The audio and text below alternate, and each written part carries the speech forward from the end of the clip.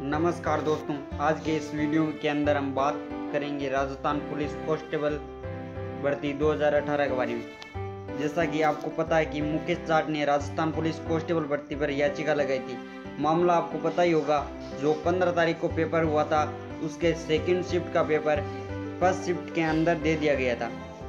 कई सेंटरों के अंदर इसी पर याचिका लगाई है। मुकेश जाट ने तेईस तारीख को यह केस रजिस्टर हुआ था और हाईकोर्ट में आज इस केस की सुनवाई हुई है। उसी के बारे में बात करेंगे कि हाईकोर्ट ने इस पर क्या फैसला दिया है। तो दोस्तों, हाईकोर्ट ने कहा है कि डीजीपी और गृह सचिव है, पुलिस विभाग से जवाब मांगा है।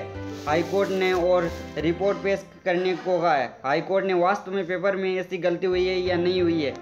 वो रिपोर्ट पेश करेंगे, तभी अगली सुनवाई में पता चलेगा कि भर्ती पर स्टे लगता है या फिर रिज़ल्ट आता है। तो जब भी इसकी अगली सुनवाई होगी, हम आपको इस चैनल के माध्यम से बता देंगे। तो आप यदि चैनल पर नए हो तो आप चैनल को सब्सक्राइब कर लेना और साथ में बेल आइकन को दबा देना, ऐसी लेटेस्ट जानकारी सबसे पहले पाने के लिए।